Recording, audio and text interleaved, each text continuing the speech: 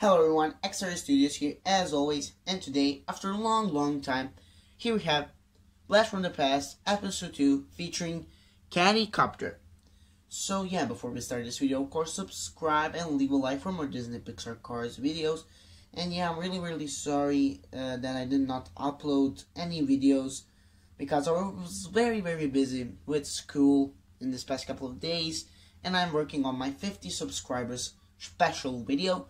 So yeah, that's the reason why there was no videos. And so now we can start.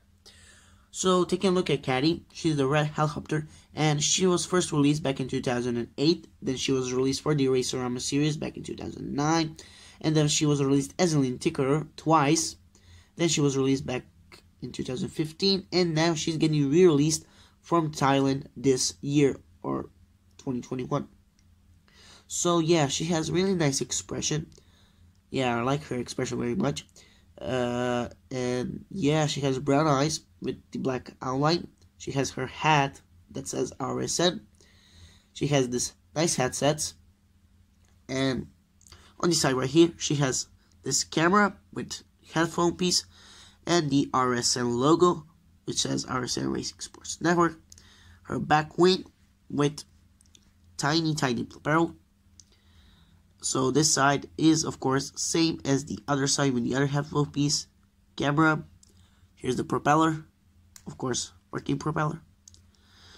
Uh, so on the base, we have Disney Pixar China and her date stamp. She was actually made back in 2009. So this is the Race-O-Rama version. And yeah, she is the Raised Up Islands version.